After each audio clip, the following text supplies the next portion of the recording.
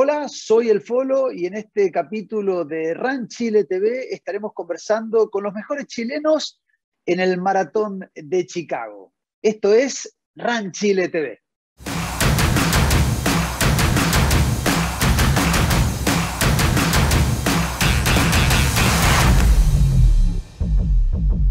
Este fin de semana se, realizó también otro mayor, el maratón eh, de Chicago, donde tuvimos grandes marcas eh, de chilenos y chilenas. Y ahora conversamos con Magdalena Chamorro del TIM, eh, quien fue la mejor chilena en competencia, realizando una tremenda marca de 2.58.55.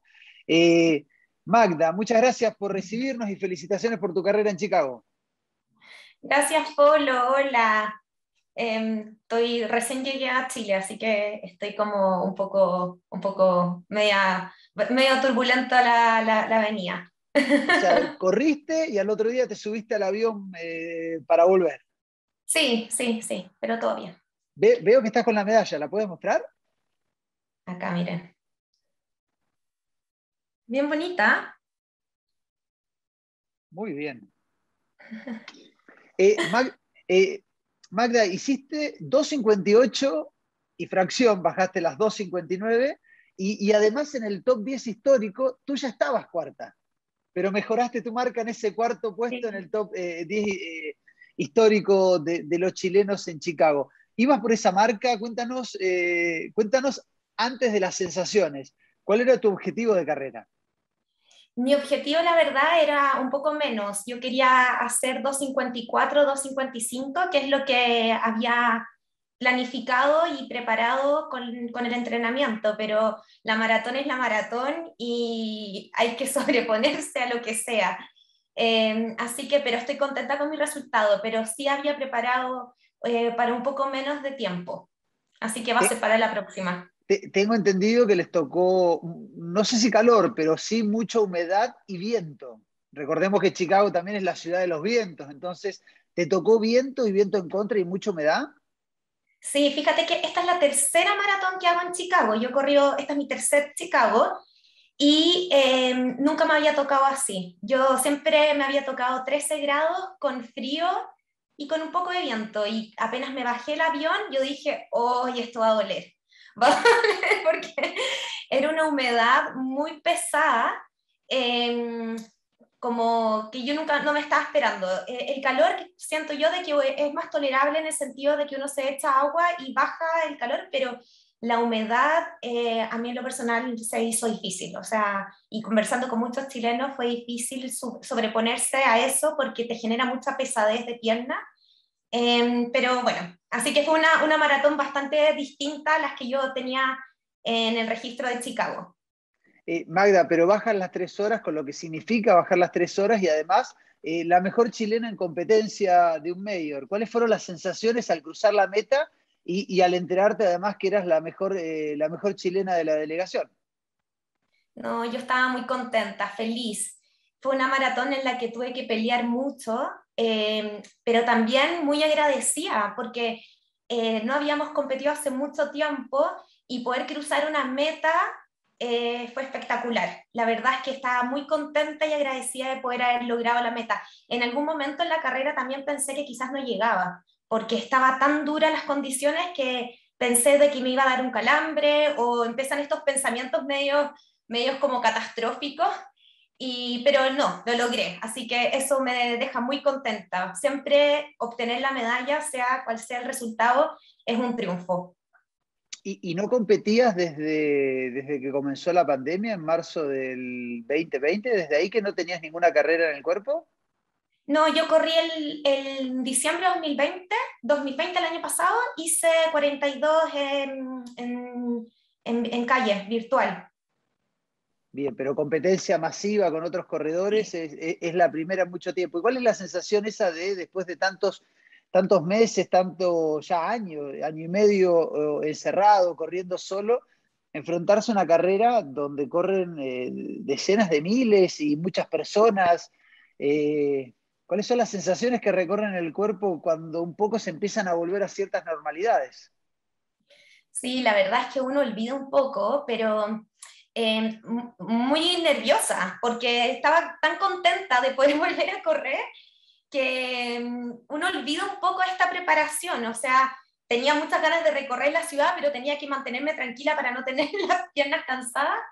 Eh, mucha ansiedad, muy, muy contenta de, desde que me subí a ese avión y llegué a Chicago, yo ya estaba, o sea, feliz. Después de la pandemia lo veía muy difícil volver a competir y estar ahí. Fue maravilloso. Además, en Chicago, no sé cómo habrán sido los otros majors, me llamó mucho la atención que mm, como que fue muy parecida a los otros Chicagos que yo había corrido, en el sentido de que eh, la misma cantidad de gente, el mismo sistema, el mismo corral, el, mismo ruido, la misma fiesta se vivió desde la expo y también en, en la partida eh, y la carrera en sí. Así que fue como volver un poco a la normalidad. Magda, eh, tú dijiste que estuviste sufriendo durante la carrera y que inclusive pensaste que en algún momento por ahí no llegabas, pero uno ve fotos tuyas corriendo y vi fotos tuyas corriendo en Chicago y siempre estás feliz. ¿Cómo lo haces para correr un maratón y que siempre que hay una foto, siempre estás con la sonrisa de oreja a oreja? Hoy, eh, la verdad es que me gusta, o sea, yo de verdad estaba sufriendo, quizás en la foto voy feliz. Eh, pero creo de que, por ejemplo, en esta maratón yo trabajé mucho la mente, tratar de trabajar mucho pensamiento positivo. Eh, cuando yo quería apurar en un minuto y no lo lograba porque las piernas como que estaban aplastadas por la humedad y me mantuve luchando para mantener el pace y aún así disfrutar el entorno. Yo creo que es una, es como, no sé, yo creo que es una mezcla de emociones, de tener la mente fría, pero también agradecida de poder estar corriendo y nada, disfrutar el entorno, la experiencia, aunque las piernas dolieran, yo la verdad es que sufrí, pero la foto refleja que lo estaba pasando bien, así que estoy contenta por eso, porque quiere decir de que aunque uno lo pase mal, también puede correr bien. Eh, Magda, la última. Eh, esta carrera, yo sé que uno después de correr un maratón uno quiere descansar, quiere eh, tomarse unos días, pero ¿cuál es la próxima? ¿Qué se viene eh, en los próximos semanas o meses? Eh, la verdad es que no estoy tan molida ahora, así que como que tengo ganas de correr, me voy a, dar un descanso, voy a dar un descanso, pero eh, nada, preparar el siguiente ciclo. Eh, tengo la inscripción antigua de la Maratón de Santiago, que fue el 2020, que, que la tengo ahí pendiente. Em, y si no, buscar otra alternativa y entrenar y seguir avanzando. Para mí, disfruto mucho el proceso y creo que es bueno ponerse estos objetivos también en cada ciclo y cada carrera para ir avanzando y mejorando un poco más el rendimiento. Ella es Magdalena Chamorro, la mejor chilena en el maratón eh, de Chicago de este año, el, el, el tercer mayor que se, que se realiza masivo 2.58, eh, bajó las tres horas y se transformó, va, ya era la cuarta mejor chilena de, las, eh, de los top 10 históricos, mejoró su marca. Eh, la corredora del TIM la tuvimos aquí en RAN Chile TV. Magda, felicitaciones nuevamente y muchas gracias por, por estar nuevamente con nosotros. Gracias, Polo. Muchas gracias. Gracias, nos vemos.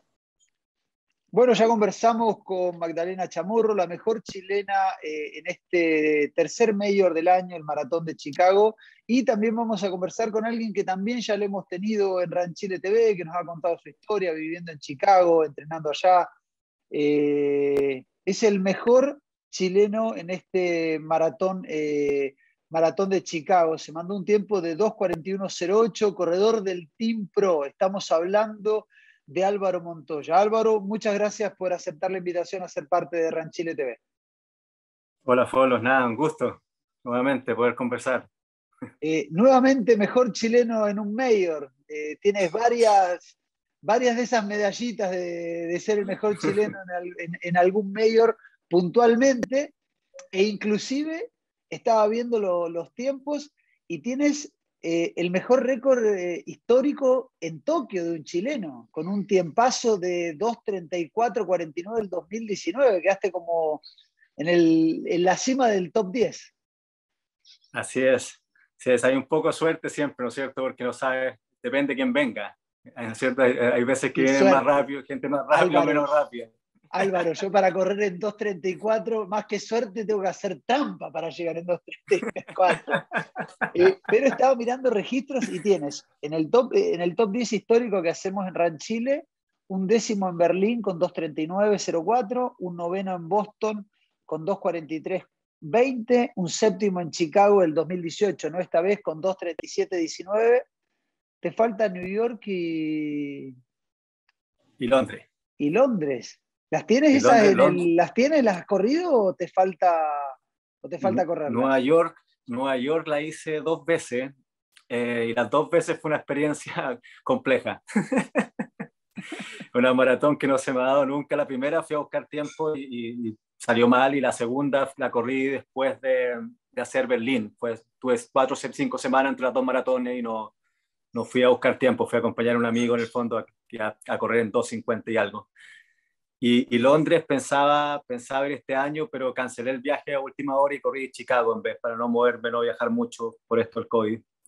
Pero el próximo año espero, espero hacer Londres para poder cerrar el, la 6 Mayor.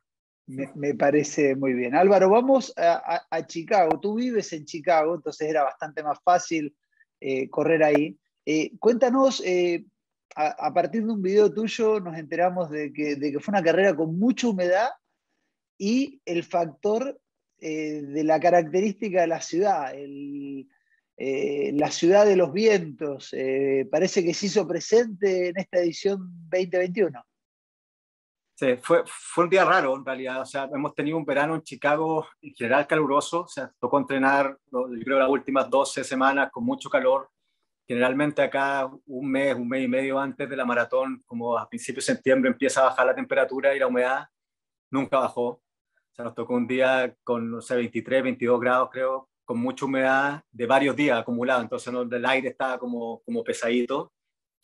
Y, y, muy raro, el viento, el viento siempre está en Chicago, pero esta, esta vez tocó ese típico viento de acá que, que corre desde todos los lados, que uno cree que va a volar en la esquina el viento va a favorecerlo y no, te pega de nuevo de frente. Así que fue una carrera, una carrera rara, un día raro donde en un minuto se sentía como un aire bueno, como una temperatura buena para correr, y el viento en el fondo tampoco ayudaba mucho porque, porque uno transpiraba cuando iba a favor del viento y volvía en contra y el viento estaba un poco frío, entonces todo había como cambios térmicos en el fondo que no, no estaba fácil de, de correr fuerte, o sea, al final los últimos kilómetros que bajé un poco el ritmo, venía de, haber pasado, no sé, 50, 80 profesionales y gente que venía adelante, que venía caminando, o sea, el frentón caminando y sin competir en el fondo.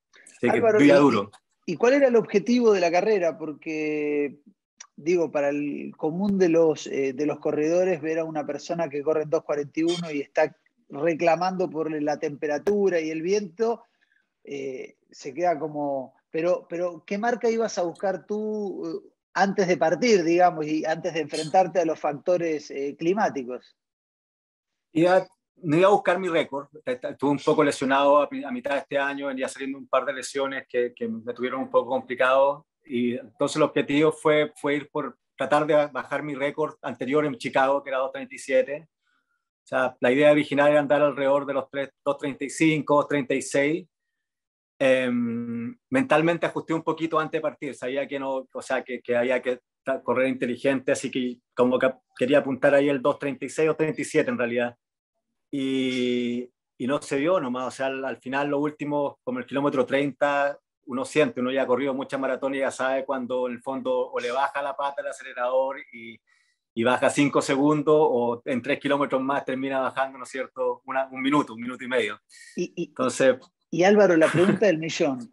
A 30, y estoy mirando el tiempo, 35 segundos tuyo atrás llegó Tomás Ruiz Tagle.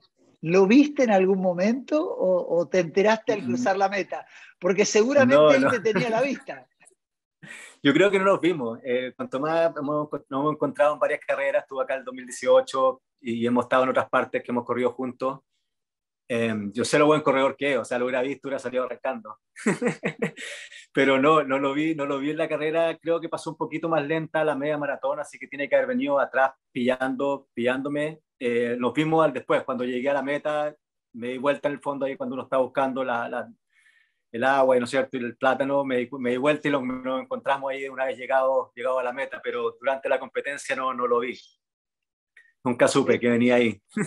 Probablemente él sí te tenía vista porque 35 segundos está bien, son más de 100 metros, pero eh, los que hacen 2.40 tampoco es que se llega a la meta, tampoco llegan en masa de, de 50 personas, eh, se llega un poco diseminado y uno puede ver la cantidad de corredores que hay adelante, ¿no es cierto? Seguramente, sí, sí, uno llega, uno llega bien, bien distanciado. O sea, a veces hay grupitos de tres o dos personas, pero uno llega casi solo. Y seguramente, no sé, habría, habría que preguntarle a él. Álvaro, y pregunta, llegas a la meta y no cumples el, objetivo que era acercarte a ese 2.37, eh, pero igual logras ser el mejor chileno, se logra, logras correr un mayor en una relativamente para, para el resto, buenísima marca. Para ti no será de las mejores, pero también en 2.40, que es correr bajo 4 el 1000, lo cual es eh, bien interesante. Eh, y además después de un año y medio de pandemia, etcétera, etcétera, eh, ¿Cuáles son las sensaciones eh, al cruzar la meta y, analizar lo pasado? No, en general, yo creo que es de agradecimiento. este, año, este año y medio ha sido complicado para todos, o sea, ha sido un año muy complicado emociones y al final, ¿no es cierto?, eso termina afectando un poco deportivamente, o sea, uno, no está exento de todo lo que pasa son alrededor de uno y eso al final termina alterando, ¿no es cierto?, los planes y, y más que nada contento, o sea, obviamente terminar un mayor, la, increíble estar en una ciudad llena de gente nuevamente, ¿no es cierto? Estar corriendo con 30.000 corredores.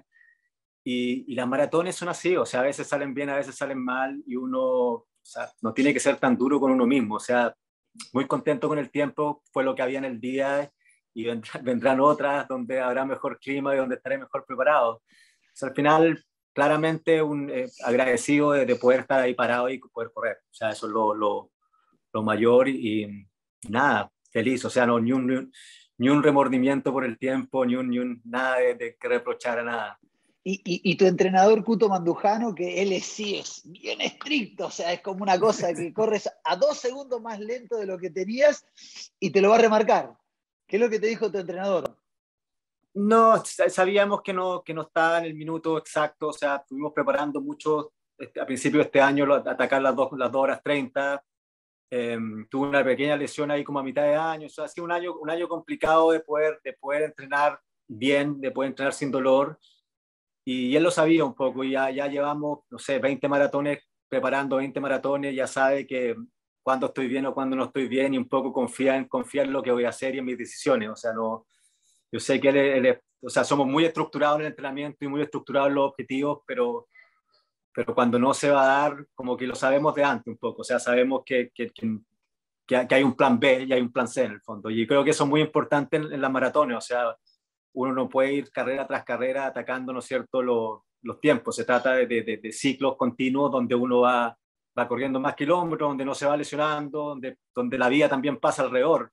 Entonces tienen muchos factores que tienen que, que, que, alinearse en el fondo para tener un, un rendimiento al 100% pero eso no significa que una carrera donde uno corra, no sea el 90 o el 95, no sea una buena carrera.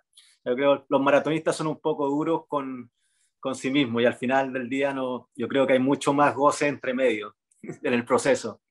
Exactamente, muy bien que lo dices. Álvaro, la última antes de, de, terminar, es que se viene para Álvaro Montoya. Yo sé que hace poquito terminaste el maratón y uno tiene que descansar un poquito el cuerpo, pero ya debes tener eh, algo en vista o ya estás inscrito en algo. No, fíjate que es primera vez que termino una maratón sin estar inscrito, inscrito en otra maratón. Lo cual me ha dado un tiempo un poco de pensar, de pensar cómo estructurar el año que viene. Em, yo creo sí o sí, sí voy a hacer Londres que en octubre. Um, esa la hago sí o sí. Creo que Pero queda un año para eso. No me vas a decir que, no vas a correr nada en un año porque no te creo. No, no, no, no, no. Ese es el objetivo, o sea, ya, ya sé que voy a ir, o sea, tengo como ir, ya está estructurado ahí. Y yo creo que a, mi, a principio de año voy a atacar un par de, de medias maratones, tratar de, de, correr un poco de media, competir un poco más. Um, yo generalmente compito muy poco, o sea, hago una, tres, cuatro carreras al año, pero la, al pasar 18 meses sin competir, tengo ganas de, de estar ahí, de competir en el fondo. Así que yo creo que voy a hacer un par, aquí en invierno hay algunas entretenidas, está Houston, la media maratón de Houston, que es muy entretenida, y seguramente voy a hacer la media maratón de, de Manhattan, la que es Nueva York en, marzo. Te voy a dar y un dato, probablemente, Sí, dime, dime, dime eso. Y probablemente corra, corra Boston. Tengo ganas de, de, de, ir de nuevo a Boston, así que puede que, que, que, haga Boston. No me, no me inscrito todavía, no saber las inscripciones, pero yo creo que por ahí va el calendario. O sea, media maratón, Boston, después Londres hacia el final del año. Te voy a dar un dato. El número uno del top 10 histórico en Londres es Gonzalo Zapata, 2.32.34. El número dos es José Tomás Ruiz Tagle con 2.38.19. El número 3, Nicolás Ángel con 2.38.58. Y el número 10 es Diego Valenzuela con 2.51.32. O sea, para entrar en el top 10 histórico de Londres hay que, hay que superar ese 2.50.32 y si quieres quedarte en lo más alto como en Tokio, vas a tener que atacar esas 2.32.34 de Gonzalo Zapata. No, ahí yo creo, yo creo que vamos a atacar a Zapata directamente. Me parece muy bien, así me gusta. No porque haya que atacar a Zapata, sino que hay que ponerse los pantalones y decir, voy por el récord. Obviamente, no, yo creo, yo creo, o sea, todavía tengo las ganas de bajar a 2.30, o sea, creo que todavía tengo, tengo cuerpo para, meter, para hacer el entrenamiento y ganas de hacerlo, así que seguramente Londres, Boston es difícil hacer ese tiempo, así que Londres yo creo que va a ser la, la oportunidad del año de, de ir a, a, buscar, a buscar el 2.29 algo. Me parece, me parece muy bien. Álvaro, queremos agradecerte haber estado en RAN Chile TV junto a Magdalena Chamorro, quien fue la mejor chilena. Eh, él es el mejor chileno eh, en Chicago este año y por supuesto está en cuatro de los seis eh, top 10 históricos de los maratones de los Major. Álvaro, muchísimas gracias por estar en RAN Chile TV. Muchas gracias, Polo. Estén todos bien. Chao. Felicitaciones a Magdalena, Álvaro, a los mejores chilenos en este maratón de Chicago. soy Alfredo Folonier, el Folo, y esto fue RAN Chile TV.